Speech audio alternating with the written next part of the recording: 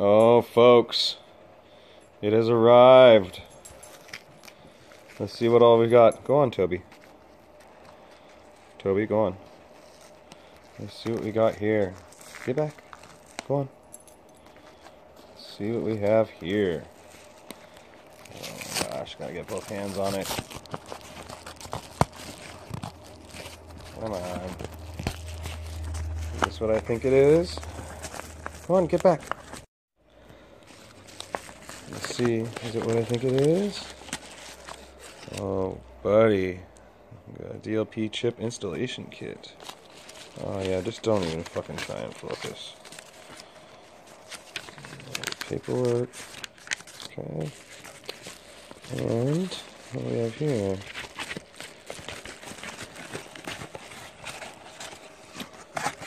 Oh man. Hopefully that is exactly what we needed. But we will find out shortly. I'm going to start tearing the TV apart. Alright, so here is one last shot of what's been happening to this television. You can see uh, many of the mirrors have stuck in the on position and if you look real close, the on position are these white dots. Okay. And stuck in the off position are the black dots. You see that? They're just everywhere. This TV, for all intents and purposes, here, see if we can see them in the O and the N. Yeah, you can see it a little bit. You can see the black dots everywhere though too. So this TV is pretty shot. Okay. You'd think, because this is, know, it's a 67 inch, it's a big TV. You're going to spend some money to replace everything that is.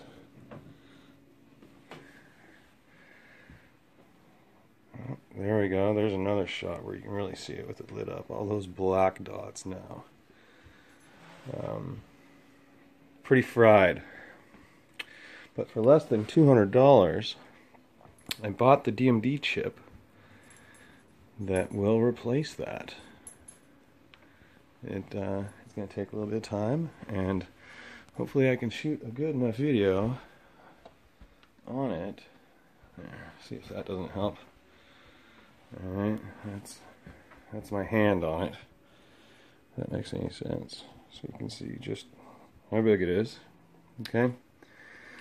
So, I'm going to get this thing powered down and flipped around, and let's get started.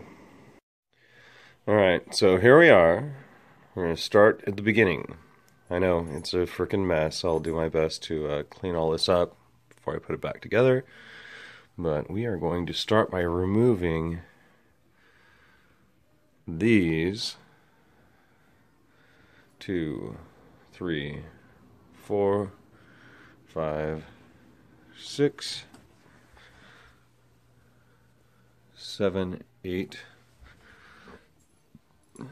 nine, and 10 screws to get this main panel off. Alright, so I'm to go ahead and do that real quick. Oh yeah, one last thing, you guys. Um, you'll need a Phillips screwdriver, um, a spade screwdriver, or some people call it a flathead, and uh, best case scenario, you should have a grounding strap and some microfiber cloth. And I actually think that's about it. Maybe some air duster to clean uh, a mess just like that up. But uh, it doesn't really take a whole lot, right? Oh, I almost forgot. You will need to get that screw out, which is 11. And I really think that's it. So yeah, I'm not gonna ignore any of it. Yeah, look at that muss. Jeez. Air duster is definitely a must. Or com compressed air. You got a compressor and an air gun. Okay, once the 11, is that what it was? 6, 7, 8, 9, 10, 11. Once the 11 screws are out, this should just, and here I'm going to do it for the first time. Let's see. Yeah, this should just come away freely. Look, I'm just, I'm touching it very lightly and It just comes right away. If you have any, any restriction at all, if there's any fight, wow, look how dirty that thing is. Jeez. I'm surprised it doesn't have other problems. But uh, if there's any fight at all, if there's any resistance, you're missing something. So look back, make sure you got them all. Alright, so it looks like they've designed this quite well. For this particular unit, we need to remove this bit of chassis across here, okay, which involves this ribbon cable, that socket, let's see if I can get a good angle on it, there, this, uh, that socket right there, and uh, come around this side, and uh, this socket right here, if you look carefully and follow that wire path, see if I can get a good shot of it. It's running right down. Wow, of course I can't. It's running right down underneath this fan. This this bundle right here that bundle right there is running right underneath the fan into this chassis housing right here. This this guy. That guy. Which is part of this. So that socket needs to be unplugged. Jeez. It looks like that's about it. I need to pop those guys out of that retainer clip because they don't I mean, they're going elsewhere. They're not attaching to this hardware. So I'm going to pop those out. Where are you guys going? You're going back down and around, so I don't have to worry about you just yet. So I think that's it. I think just that socket, that ribbon cable, and that socket. And it looks like it's just that screw and that screw. So I'm gonna, oh no, I don't know what's up with this. I really don't know what's up with that or why it's even there. So perhaps I need to pull that unit back and out of the way. Maybe I can just move it out of the way. I don't know what the hell that really is for though. It's just protection from the fan. Who knows? We'll find out. I like diving into stuff. Hopefully I don't break it, but even if I do, you guys saw what the screen looked like, so it's already it's already dead. So I'll be back in a minute. Alright, now uh, that top ribbon cable, it comes right out, but it has two pinch points. I don't know if you can see those right there. They're real small, but you can see the release points right on the tabs. It comes right out as soon as you pinch these little points. Now, anybody that's done stuff like this before could figure it out, but I'm just showing you so you don't just go ripping it, because if you rip this ribbon cable, then you're really screwed. Alright? I imagine something similar is happening with that socket right there. Let's take a look. Uh, maybe. Oh, yeah. Look. It looks as though you pinch it widthwise instead of lengthwise like the ribbon cable. So let's see if that's the case. Give it a little push with one finger. Boom, right there. So the trigger point's on the left hand side, the locking mechanism. So boom, now that's that's done. That's not so bad. Alright, let's see. Still looks like there's just nothing else in there at all. That's good. I don't want, I don't like complicated, complicated crap. Still gotta undo that guy. So let's see. This looks like it's the same way. It looks like it's just a pinch. So let's see if it is. Hmm, give it a little pinch and pull. Oh fuck, that doesn't want to let go at all, does it? Hmm. That's not a pry guy. Alright. Now he's grabbing right around, so pinch him and boom. Fuck, that doesn't want to come out. Give me a minute, I'll figure that out. Okay, so just exactly what I thought. In order to undo this connector, it should be a pinch connector. You should be able to just grab right here like this and pinch and pull. But it is a little over engineered, so I'm using this uh, slot tipped screwdriver to actually get up underneath that connector. You see that? Super easy. It wants to be there. As soon as you push that, it get pops over that lip and it should just come loose. Just like that. Alright. Yeah, let's get a good close shot of that. Yeah, it wants to grab around, but for some reason there just isn't enough deflection when you pinch that. So get in there, you know, there isn't a whole lot of clearance here. That's why I only used the the, the tip. But it didn't take much. Ah, ha ha ha. Funny guy.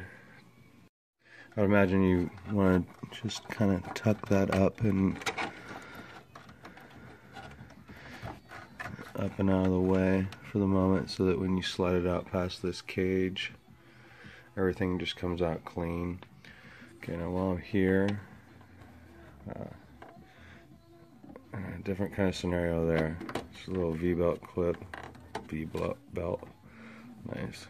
Freaking idiot I'm gonna lightly ever so gently wrap it right around that capacitor and I'm gonna remember that I did that and that's again just to get it up and out of the way. I don't need to pull the rest of this out. I don't need to screw with it. It actually looks, you know, fairly clear all the way through here. I'm trying to do the minimum work I can to get this unit out to just replace the uh, the DMD processor or the DLP chip or whatever you want to call it. So, all right. So I think the next step I've got both those connectors undone. So I think the next step is just pulling this screw and that screw. And I think the entire unit should just slide out. If not, you'll see. I'll show you the binding points. But it looks like, I mean, it looks, it, it literally looks like, you know, nothing is going to bind us up right there. And it doesn't look like anything's going to bind us up there. And hopefully that foam, excuse me, is the only thing that's going to be even close to holding this up. This all looks like it stays together, so, alright. Alright, so after removing those two screws, uh, my only concerns are uh, these wire retainers here. They're the one-way kind you know, like uh, plastic pop rivets for uh, inner fender wells on a car. You know, they go in real nice and easy, but they don't want to come back out. So, what I'm going to have to do is be very careful because this piece right here, and you can see that, that strip of foam, insulating foam, that's actually where the projector is projecting up onto the screen and you don't want to damage that foam. In fact, you don't want to damage any of this right now. So I'm going to do my best to be very careful. It seems to be flexible, so I think it will come right out, but I really don't want to break those clips unless I have to. If I have to cut them out and just use some zip ties or whatever, then yeah, you know, I'll do what I have to do. But uh, I think it should just come out if I'm kind of gentle. So we'll give it a, a shot and see what happens here. Okay, let's see if I can do this one-handed. Okay, first part moved all right. All right, seems like we're okay so far. Let's see, now that's what I don't want to run into. Is that right there. I don't want to damage that foam, and it appears as though this part of the housing is very flexible, so As long as you're gentle with it, you should be able to extract this entire unit without damaging anything. But I could be wrong. We'll find out right here. Oh, look at that. That's not too bad. Look at that. We're doing alright so far. Bam. Get that. Oh, oh, oh. Let's be nice. Oh, I Don't want to pull on wires. Right? Right? And you can see how gentle I'm being. So if uh, my dumbass can get this out of here successfully without damaging anything, you should you should be able to. Okay, so this guy is hanging us up a little. All right. And I'm doing it one-handed because my cameraman didn't show up. Fucking asshole. Uh, getting hung up again, which would not be occurring if there's someone else here. Uh, oh, okay, so we've got a tight area right here with this guy. Give it a little turn. And give it a little pull. Oh my gosh, it's gonna just come out. And there's our lens. Alright, so we're almost done. In fact, I'm gonna just have to put this down now because I feel like there's uh, nothing holding me back from this. Alright. If there is, I'll let you guys know. But I think this is just about to just drop on the floor. So, so there it is. It came right out. There was uh, literally nothing else holding it in. This is super easy to fix, man. Uh, if you guys have the chance, you know, you may want to take the front panel off and actually clean the screen. And if there's cobwebs in there or whatever, uh, you may want to clean them also. But this unit is literally the entire TV, short of the inputs and outputs, board, and uh, uh, the power conversion board. I mean, this is it. That's the entire TV.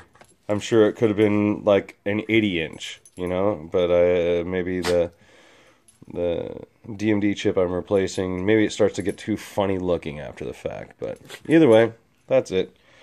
We're going to clean this guy up and then we'll move on to the next step. Yep. Looking good. It's super easy. That was, I mean, I could have walked my freaking nephew through that. So, will you stop? We're going to continue being a little wily, some of you. Alright? Stop it. Be nice. Alright, so here we are. I've carefully blown this out, blew this fan out, blew through this fan, through this heat sink, this big heat sink right here. Uh, cleaned that fan out the best I can. I might go back with some isopropyl rubbing alcohol and wipe some of this down, but I got the majority of the dust out, you know. And there's a handful of things you guys you don't really want to touch, I would imagine, if you can help it. You know, the lens being one of them, just don't, right? The less you have to clean later, and uh, you're gonna wanna clean that a little bit anyway, but the less you have to clean later, the better. Now, having said that, make sure your ground strap is on, you know, and next thing I'm gonna do is I'm gonna remove this fan, which is just retained, a couple grommets, Phillips screws, and then I'm going to take that heat sink off right there, which involves these, there's four of them, there's four preloaded screws, so give me a minute. All right, so I think rather than removing these screws, the next step is to actually remove this retaining spring from this top heatsink piece.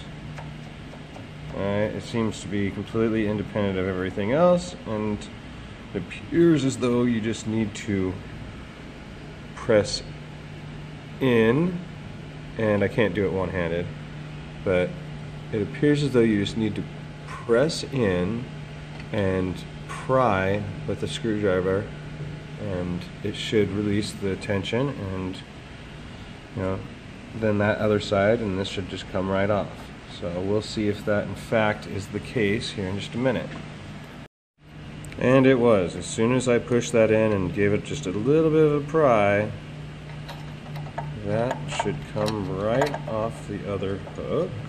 Come on, one-handed action. And you notice I gave it a little twist first because I wanted to make sure that the fuck. That the uh, insulating pad or I don't think it's thermal paste on the back side of this. Uh, make sure it stays intact didn't leave anything on the back of uh, the DLP chip or the DMD processor, whatever you, however you want to call it. so now the next step is to remove those four screws.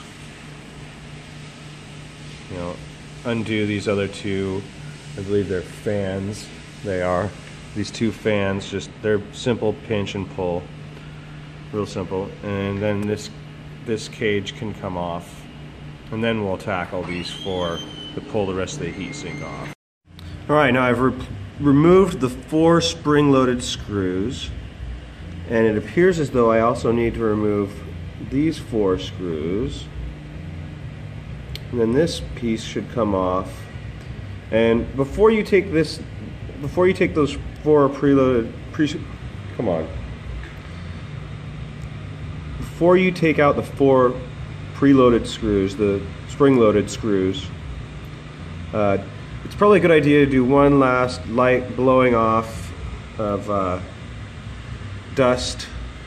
You know, take an air gun in here, take a rag maybe with some rubbing alcohol, and just, you know, light touches here and there. Get the last little bits because after you take this cover off, the cleaning has to be done. You have to just be ready to put the new uh, DLP chip in and button it all back up. Even one little speck of dust on that chip will cause a huge headache and you'll have to take all this back apart and do it again. All right, so it appears I have to pull this entire board out.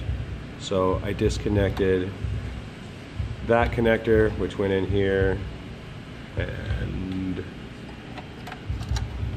this connector, which went right in there, and this guy that went right there. And I think you just give it a little bit of force. Obviously, I don't want to crack this thing. It doesn't feel like anything's really holding it in there other than this guy and that guy.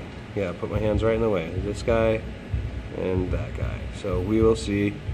Hopefully I don't break it. Yeah. All right, so it was. It was as simple as I started over on this corner over here and started just wiggling and wiggling and then it all came out all at once. So here we are. There's the source of all our problems. And this one doesn't have any retainer clips like I've seen in other videos. It just simply... All right, so as you can see, uh, there are no retaining clips on this particular model. It's just you give it a little wiggle and it pulls right off. All right, now we've got the new one, and we are going to really, here, I'm gonna set you guys down for a second. We're gonna check and make sure, just make certain that this is the exact same component. And uh,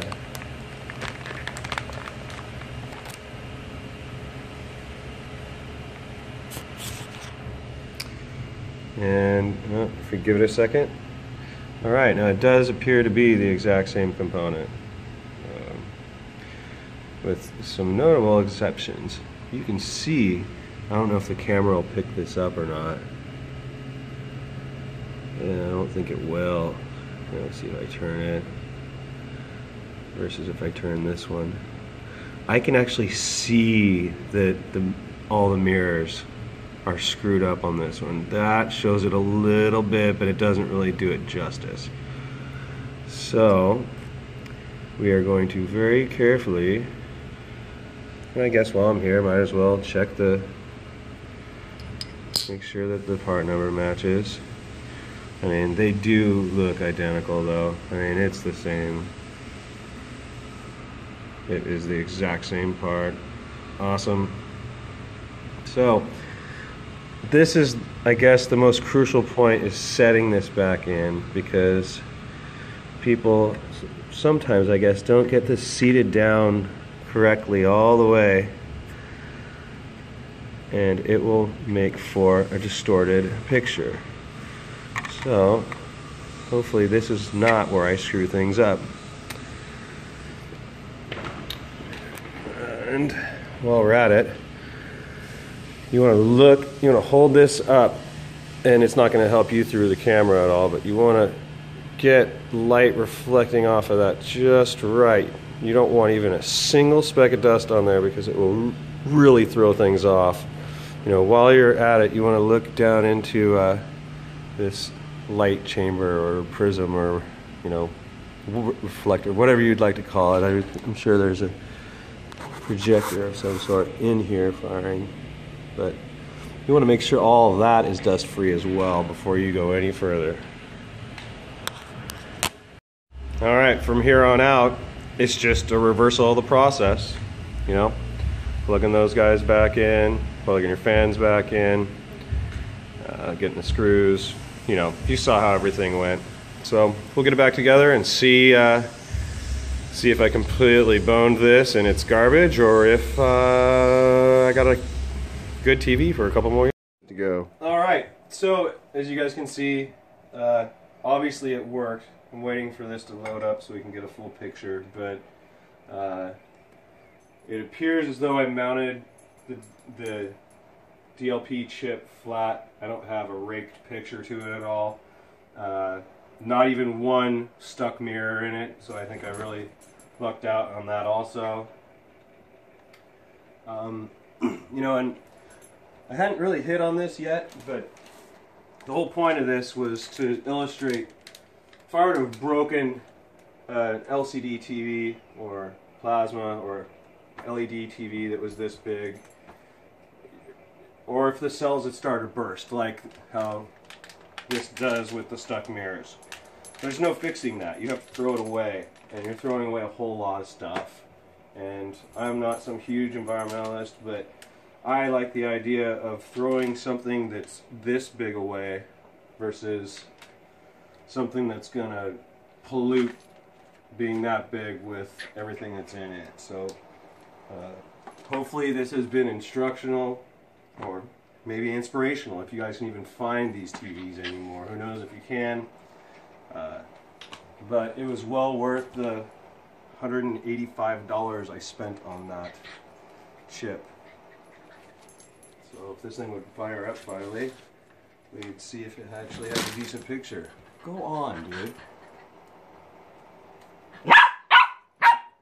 Really?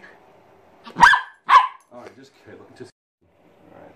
So it looks as though I mean you might want to I don't know if you need to drop down so you're on that height level or not, but I mean that's as clean as it's gonna get, I think, for what this TV is capable of. So I feel like I, I did something right.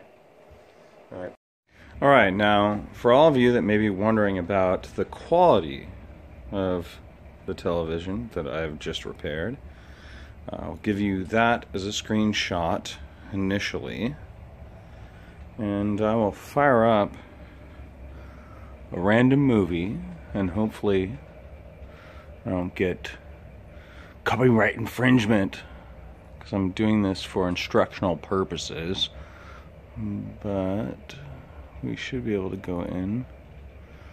And let's see.